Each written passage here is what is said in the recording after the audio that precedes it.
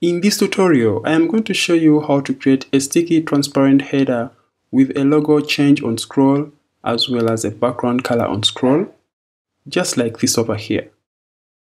This sticky transparent header will be responsive on mobile devices, just like you see over right here. This is on a Galaxy Fold 2. When I scroll, beautiful, our transparent header shows up with our logo changing on scroll and as well as our background color.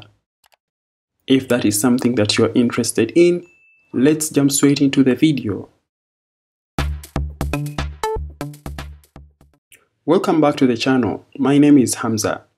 In this tutorial to create our sticky transparent header with a logo change and background change on scroll, we will need only one plugin and that is the Elementor Pro plugin. With Elementor Pro, then we'll be able to create our headers. So inside my Elementor under templates, I'm able to go to the theme builder. Under the header option, I'll add a new header. I'll not use any of the templates or blocks, so I'll close over that pop-up. I'll add a new section. It's going to be a three column section. Awesome. With the section selected, I'm going to adjust the height of that section with a minimum height of 100 pixels. I'll come back here to the style option and I'm going to add a background type and that is going to be our background color. Now I'll come back to the widgets and I'll pick up my heading widget and that will be for our site logo. Then I'll pick up another widget and that will be for our social media icons.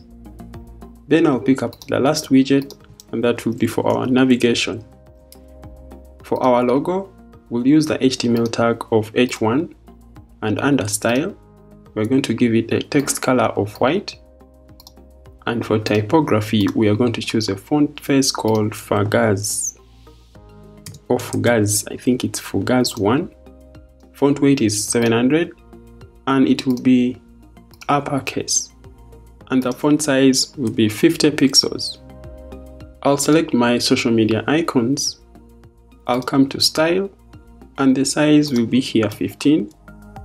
The color will be the custom color.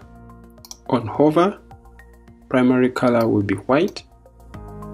Secondary color is going to be a black. And hover animation will be a shrink effect.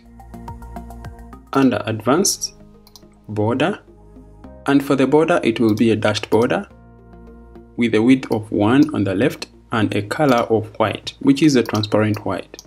Then we'll have a dashed border on the left hand side of our icons widget.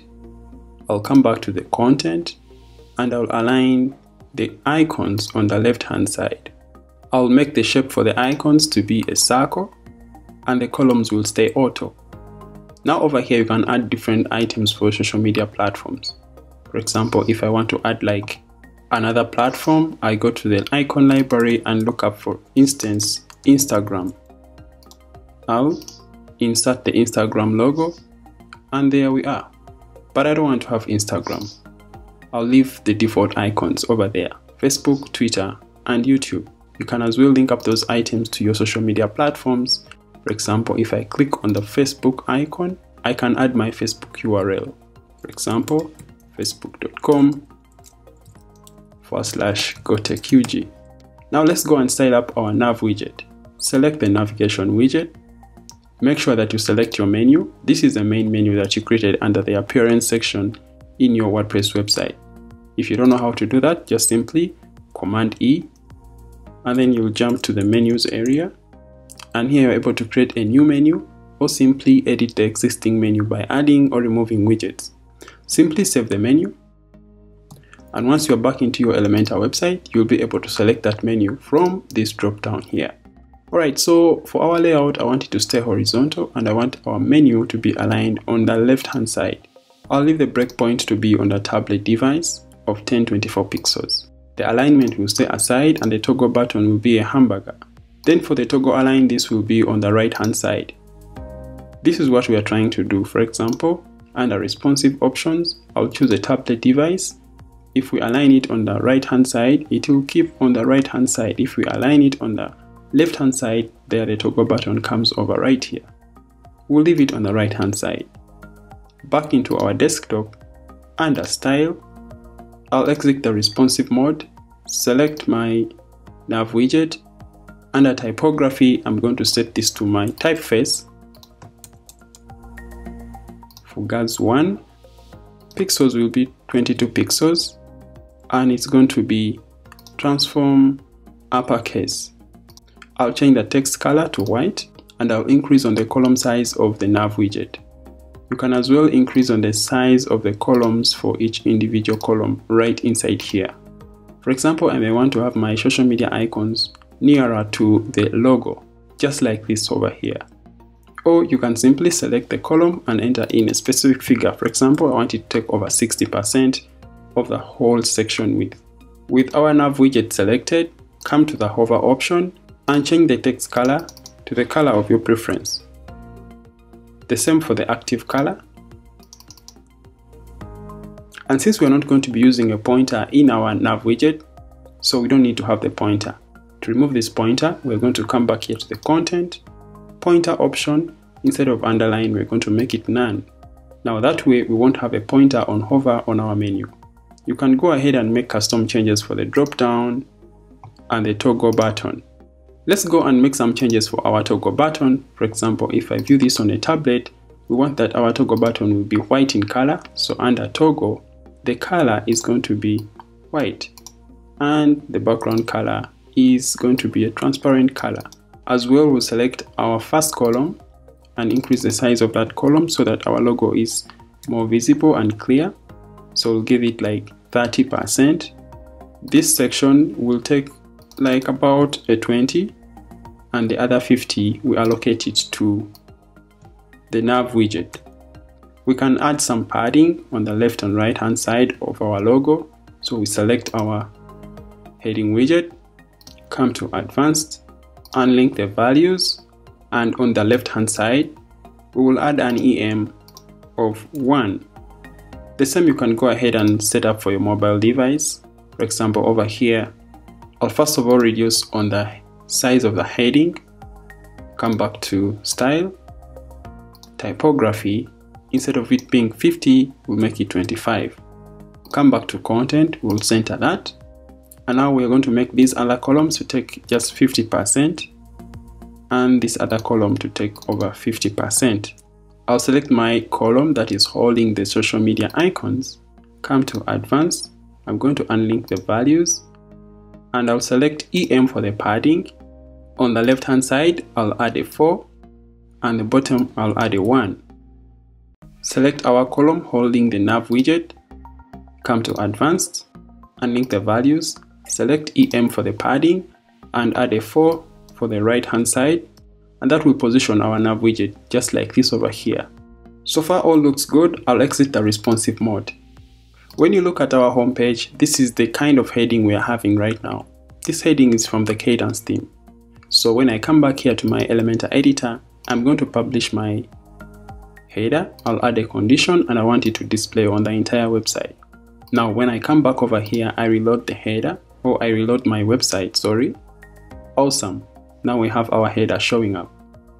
So how do we make our header sticky and transparent and change a logo on the scroll?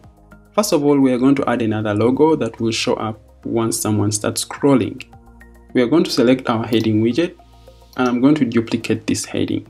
It can be an image widget that you're using to display your logo. In this case, I prefer to use text as my website logo. I'm going to rename the first logo. So this is going to be white logo. I'll name the second logo as gradient logo. Now let's first give our second logo a gradient. So I'll select the logo. I'll come to the advanced option under CSS or under custom CSS. So I'll add my CSS code over here and just to explain to you, the gradient you see over here should work as a background in our heading widget. But in this case, we masked it and we're using it as a text color. So what I'm going to do is now copy our class. I'm going to come to the advanced option. I'll paste my class. Make sure that you remove the dot before the class. Now I'm going to reposition these two logos that we only have the white logo showing up by default, but once the heading starts to get sticky, then the gradient logo shows up. To do that, we are going to play with two things, the Z index and the custom positioning. I'll select my white logo first. I'll come to advanced. Under positioning, we'll give it an absolute position and align it to the right hand side. I'll give it a 10 but negative. And for the vertical offset, we're going to select the bottom option. You can as well continue play along with these values to make sure that your logo overlaps the other logo, just like this over here. With still the white logo selected, I'm going to come to advanced and I'm going to give it a Z index of 2. Then come here to the gradient logo. I'm going to come to the Z index and I'll make it 1. That helps us position our white logo on top of the gradient logo. For example, if now we give the gradient logo a higher Z index of let me say 3, it will automatically come to the top of the white logo, but I want to keep it 1. We will now add sticky effects for our header. I'll select my header. Under Advanced, Motion Effects, I'm going to enable a sticky header on top. You can add or remove different devices where you want your sticky headers to appear or not to appear. For the offset effects, I'll set it to be 350. This tells the header to show the sticky effects after 350 pixels of scrolling. Under entrance animation, we're going to choose fade in and we'll leave it on normal. We will now go to the custom CSS option and I'll add this CSS snippet and inside our CSS snippet 1 is going to enable that we have a different background once our header gets sticky.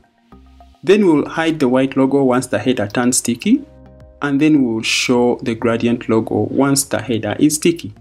So there are two things we have to note right here. We have to give a class for our white logo and the gradient logo. And the classes I gave in this case are white logo and under the white logo, advanced option, CSS class, I added that class but without the period sign. Same for the gradient logo, this over here, select your gradient logo widget and over here we already added that CSS class. Now let me update. I'll come to our page or our home page, I'll reload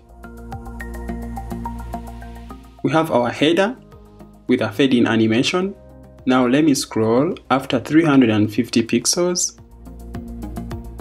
Our sticky header shows up with our transparent background. Maybe you're asking how do we get this color for the transparent background? Back into our editor, this is the color code for the transparent background.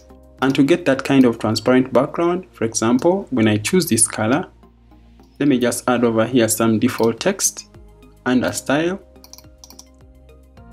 this is the initial color right here I simply just got a transparent version of that color then copied that color code came back here into my editor select the header widget under custom CSS then you can paste that color over right here or the color code and that's how you'll able to achieve a transparent color just like this over here now let's work on our logo to see that it is positioned well I'll delete this section. I'll select my white logo. When you look over here in the preview, you realize that our logo is simply down. That means that we are going to work on the vertical offset. So under positioning, for the vertical orientation, I'm going to add my 15, negative 15. I'll update and come back here to our home page. I'll reload and let's see how that looks like. Beautiful. Now when I scroll after 350 pixels, the effects show up. Awesome. Now we have our sticky transparent header with a logo changing on scroll as well as our background color changing on scroll. Let's have a look at how our header looks like on mobile devices. Logo changes, we can still do some work to make sure that the logo doesn't make those movements. Let me look at another device. This is on a Galaxy Fold 2. When I scroll, beautiful. Our transparent header shows up with our logo changing on scroll and as well as our background color. Back inside the editor, with our white logo selected, Under Advanced Positioning, the horizontal orientation by default on desktop we have set this to negative 10, the vertical orientation is negative 15.